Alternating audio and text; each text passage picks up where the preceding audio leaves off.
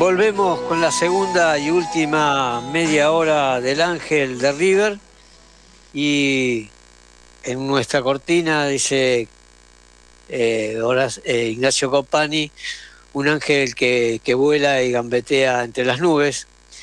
Y hoy tenemos a un, a un entrevistado especial, eh, alguien que, que padeció lamentablemente muy joven cuando estaba haciendo sus primeros pasos en el periodismo deportivo, más precisamente en la revista River, eh, y que un accidente automovilístico lo, lo, fue marginando de, de, ese sueño, pero que, como dice Copani, fue gambeteando a las nubes y, y hoy está con, con nosotros para contarnos algunas de, sus vivencias de, esos años 75 y, y, ese episodio que sufrió en el 76. ¿Cómo te va, Gonzalo Iturbe?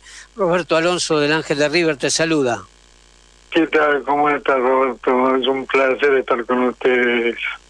Y es un placer, una especie de volver al periodismo, ¿no?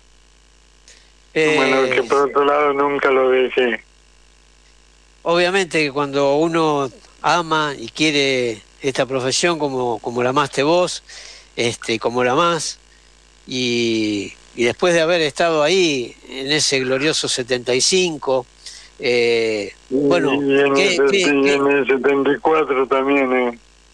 Sí, me refiero al 75 porque, bueno, acá tuvimos la, la anécdota que contó Fernando Sapia de, que te dio la camiseta en pleno festejo en el vestuario, y pero vos empezaste un, poco antes, eh, sí, en el 74, y bueno, eh, queríamos charlar contigo qué sensaciones de, eso que viviste en esos momentos hasta que bueno te tocó lo, lo que te tocó vivir mira mira fue una sensación muy muy linda viste porque yo siempre fui hincha de River.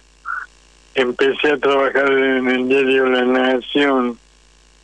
Y entonces eh, se me ocurrió escribirle al director de la revista River, Bobby Neuberger, para, para ofrecerme como periodista con el, con el antecedente de que ya estaba trabajando en el diario La, la Nación. Muy entonces me llamó y me, me, me, dijo, bueno, que quería verme. Fui, conversé con él y me dijo, bueno, me le, le caí muy bien. Y me dijo que bueno, pero que yo tenía que empezar de abajo. Empezar de, de abajo era empezar siguiendo todas las inferiores de River que yo en ese año tenía 19 años, la, misma edad de muchos de los chicos de más mayores eh, de la de, de, de, de inferiores mayores. Como para que ustedes tengan una idea, en esa época estaba en, la octava división el Pelado Díaz. Así que imagínense ustedes, pero bueno, eh, pero le di una cosa. En todos los equipos de, la, de, las divisiones inferiores, si llegaron uno o dos a jugar en primera, llegaron mucho. Eh, este, estoy hablando de novena, octava, séptima, sexta. Ni, de esas inferiores, este Gonzalo, eh, después fue parte de, ese equipo que tuvo que suplantar a la primera en el, en el partido con bueno, el eh, por eso mismo yo te dije en el 74, porque en el 74 tuve la fortuna de dar mi primera vuelta olímpica en el Monumental con la tercera que fueron los chicos que después dieron el golpe contra Argentina Juniors Vélez, que en ese momento teníamos casi toda la misma edad.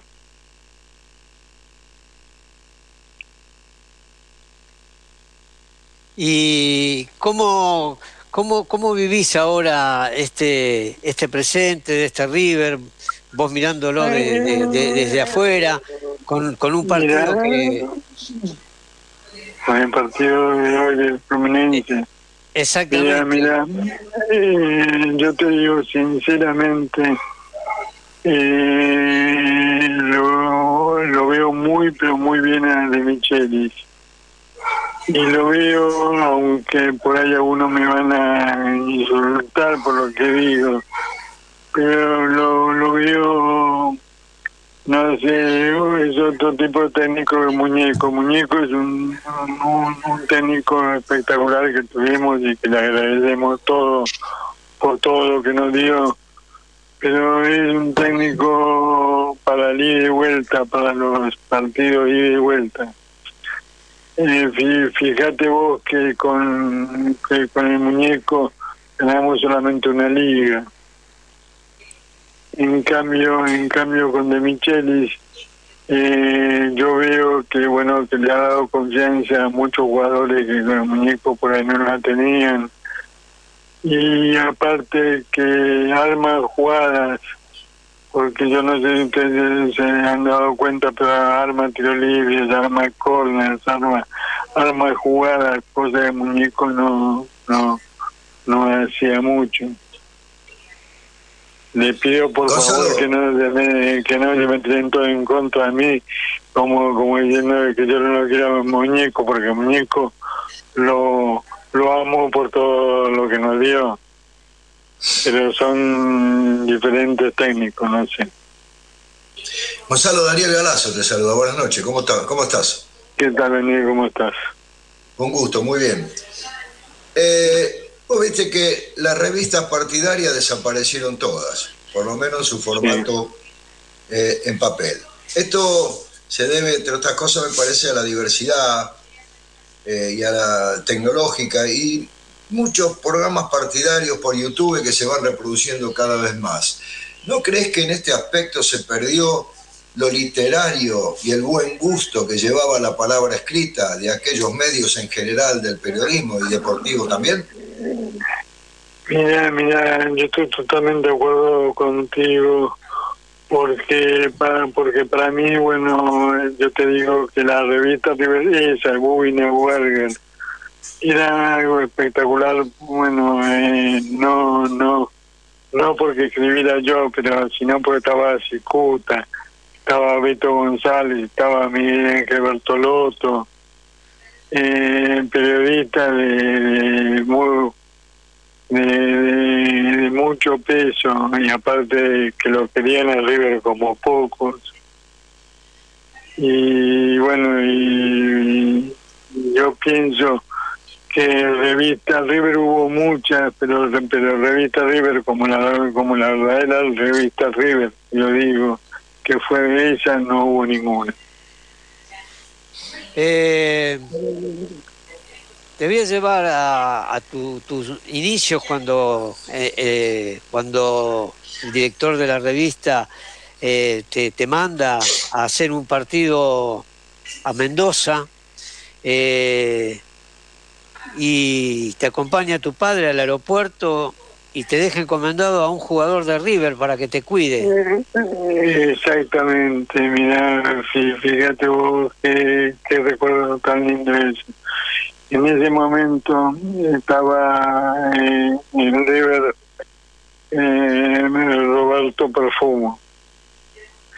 Eh, Roberto era un señor que, que yo con los 19 años que en aquella época eran otros 19 años que los actuales. Bueno, era un señor que yo tenía un respeto total y yo lo trataba de usted a Roberto. Y bueno, y llegamos, llega papá al aeropuerto a llevarme a mí y papá era muy futbolero y conocía a todos los jugadores, conocía a todos los jugadores por, supuesto de, verlos jugar. Entonces, eh, cuando lo ve a Roberto Profumo, le dice, Roberto, perdóname, yo soy el padre de, Gonga. ¿te puedo pedir un favor? Y, sí, sí, sí, sí, cómo no, que me lo marques. Le y bueno, y Roberto me mira a mí y seriamente dice, quede, quede, quede tranquilo que yo se lo voy a marcar. Y hombre a hombre, dice.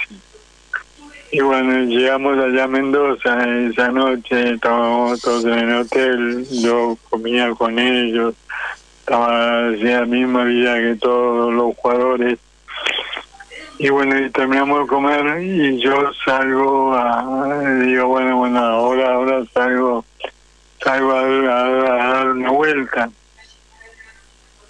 para, para, para, para conocer Mendoza. Y estaba acercándome a la puerta del hotel y escucho un chistido de, atrás, de vuelta y era Roberto. Y dice, ¿dónde va usted? Digo, no, eh, salí a dar una vuelta. Usted se me queda acá. A mí, a mí su padre me dijo, yo lo marca, usted va a agarrar las llaves del cuarto y se me va a su cuarto a dormir y mañana lo, lo quieren eh, en, el desayuno con nosotros. Qué época, ¿no? Y, qué, bueno, bueno con el tiempo, por supuesto, que me fui haciendo amigo de, de, Roberto, bueno, y ya, ya, nos empezamos a tutear y bueno, y pero pero Roberto es un, un, un, tipazo espectacular que sintió tanto la muerte de él que justamente eh, dos días antes de la muerte de él me lo crucé por la calle porque vivía acá cerca de mi casa yo vivo en Paraguay, Talcahuano, y él vivía en ese momento en Quintana y Callao.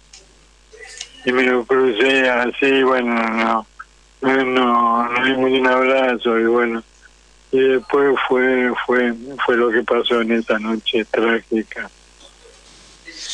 Qué bueno. sabés que no es, el, no es el único, no es el, perdón, no es el único acto que tiene de, de, bonomía que tiene Roberto Perfumo cuando mi viejo vitalicio del club y también trabajador del club, para, cuando los compañeros después del partido de controles o inspectores, cuando vivía en Sarandí Roberto, Roberto los llevaba a los muchachos que vivían por la zona sur, Roberto los llevaba ya siendo un jugador que tenía experiencia de selección internacional y con toda su fama. Habla de la bonomía y del don de gente que siempre tuvo Roberto Perfumo como persona, ¿no? Sí, no, no, no, no, era, un verdadero señor. Aparte, aparte de Roberto, yo también recuerdo a, otros ex jugadores que fueron muy amigos míos que fallecieron todos por distintas eh, desgracias, como el chino Caudanes, el Beto Vivalda y el Tomás Pena. Sí, señor. Este... Son, son, son una persona por la que yo rezo todos los días por ella. Y, mucha gente rezó por vos eh, en aquel fatídico agosto del 76, ¿no? Y, sí, bueno, también, también, también mucha gente rezaba por mí y muchos jugadores han ido han ido a, verme a mí, es más, eh, Carlito Molete en ese momento estaba en España y al enterarse de, de mi en mi accidente, él estaba jugando en Las Palmas, en las Islas Canarias. Al entrarse en mi accidente, llama en casa y habla con mi padre y le dice, ¿quiere, eh, ¿quiere que me vaya para allá? Le, dijo Carlito. Y papá le dice, no, mira, mira, mira Carlito, te agradezco muchísimo, pero si fuera médico todavía, pero ¿qué va a hacerlo? Lo único que te pido es que reces. Y ya no, eso sí, eso sí, con, con Graciela, mi mujer, pobre, que murió también este año. Eh, con Graciela, mi mujer, estamos rezando todos los días por, por Gonzalito. Así que bueno... ¿Qué jugadores de esa época te, te, quedaron marcados, este, eh, más allá de, de, esto que vos estás comentando de, de, Carlitos Morete, a quien lo tuvimos en, nuestro programa también? Este, ¿qué, qué jugadores te, te marcaron en esa, en esa época? Bueno, eh, un fenómeno, un, fenómeno de personas. Eh, también Palito Gómez, bueno, que llegó con el lingua la Pepona Renaldi, eh, Baudilio y un uruguayo que estuvo antes, Max Central, muy bueno y, un, señor.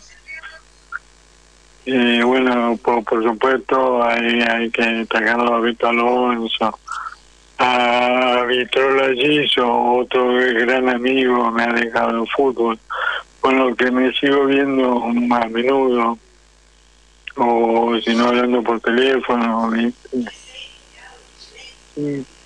que yo, todos, todos todos han sido muchos que yo en un primer momento tenía miedo de que fueran amigos míos por, por el hecho de que yo fuera periodista, pero pero demostraron cuando tuve el accidente que no, que eran amigos míos en serio, o por, por el comportamiento tuvieron y por, por todas las cosas que sufrieron hacer y todo eso.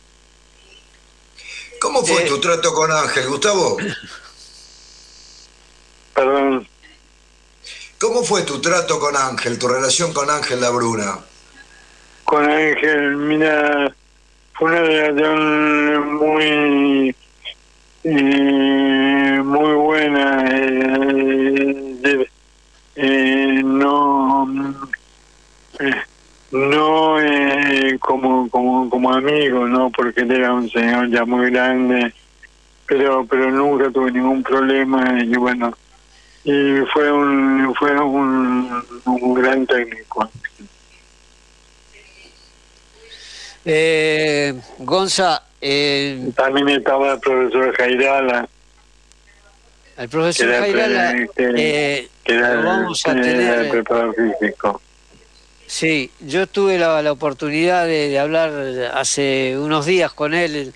Está regresando de, un viaje este, de vacaciones. De, viene de, yo hace años no veo. Sí, viene de, Brasil ahora, este, así que posiblemente la semana entrante lo, lo, tengamos en nuestro programa. Eh, él, él, tiene ahora una bodega en Córdoba eh, está alejado completamente de, la, profesión, de ser preparador físico y demás. Así que... Bueno, el lingüístico creo también está en Córdoba, me, me, hablo bastante con él, y pero el lingüístico está trabajando de, taxista. Sí, sabía, sabía que estaba, estaba eh, haciendo otra, otra profesión. Eh, Gonzalo Gonga para, para todo el ambiente futbolístico. Eh, yo te agradezco estos minutos. Quiero dejarte para que nosotros vamos a terminar también en punto porque queremos saber a, nuestro querido River. Este, Agradecerte infinitamente este, este contacto, eh, desearte lo mejor después de, lo que has, has padecido y, que lamentablemente se, se truncó en ese accidente en parte tu carrera periodística, pero como vos bien dijiste, dejaste muchos amigos dentro del fútbol y, eso es lo más importante. Te digo, te digo que en ese momento, en ese momento con 20 años recién cumplidos, tenía oferta para entrar a trabajar en el gráfico y, en el equipo de José María Muñoz, que era lo mismo que entrar en Fox Sports y en y en ESPN, digamos, ¿no? Pero bueno, ¿qué vamos a hacer? Por lo menos puedo puedo puedo contarlo. Gonga, eh, realmente nuestro agradecimiento y bueno, eh, seguimos hablando de fútbol en cualquier momento, como le decimos a todos nuestros invitados, porque hay mucho para, para hablar y sobre todo eh, los que tenemos la banda roja cruzada en el pecho, este, eh, nos gusta hablar de, de fútbol, ¿no? Ok, bueno, bueno, cuando, cuando quieren estoy a su disposición. Gracias, Gonzalo. Que tengan buenas noches y ojalá que hoy este, todos los corazones riverplatenses nos vayamos a dormir eh, contentos por, por un triunfo en Brasil. Ojalá, ahí estoy viendo, ahí estoy viendo cómo, cómo están saludando ambos equipos. Un abrazo, Gonzalo. Abrazo Un grande. abrazo Gonzalo, enorme, muchas gracias. No, no, Gracias. un abrazo enorme, muchas gracias a todos. Abrazo.